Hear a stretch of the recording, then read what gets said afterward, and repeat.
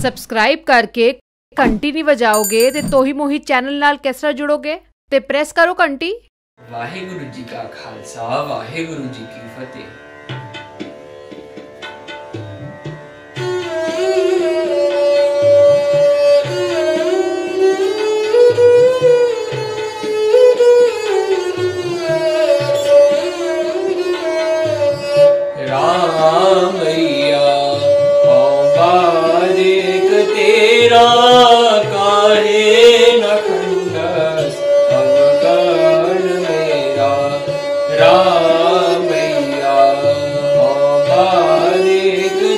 ਤੇਰਾ ਕਾਹੇ ਨਾ ਕੰਡ